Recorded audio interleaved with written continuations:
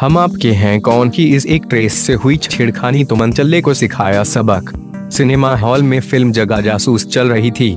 सब लोग फ़िल्म देख रहे थे, लेकिन पीछे की सीट पर शराब के नशे में धुत एक शख्स फ़िल्म नहीं कुछ और देख रहा था। उसकी गंदी नज़र आगे की सीट पर बैठी महिला पर थी। फ़ोन ढूँढने का बहाना लेकर वह छेड़खानी पर उतर आया। गंदे कमेंट्स पास करने लगा।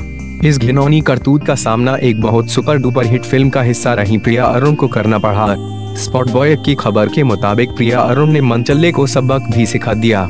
प्रिया अरुण दिवंगत मराठी अभिनेता लक्ष्मीकांत बेर्डे की पत्नी है। प्रिया ने अपने पति के साथ ही फ़िल्म हम आपके हैं, कौन में काम किया था? प्रिया ने पहले तो मंचल्ले को डांटा, लेकिन जब वे सिनेमा हॉल से बाहर निकली तो आरोपी दो और लोगों के साथ बाहर उनका इंतज़ार कर रहा था। इस पर प्रिया ने सिनेमा हॉल के सुरक्षा कर्मियों की मदद से मंचलों को हवालात भिजवा दिया और पुलिस में शिकायत भी दर्ज करा दी।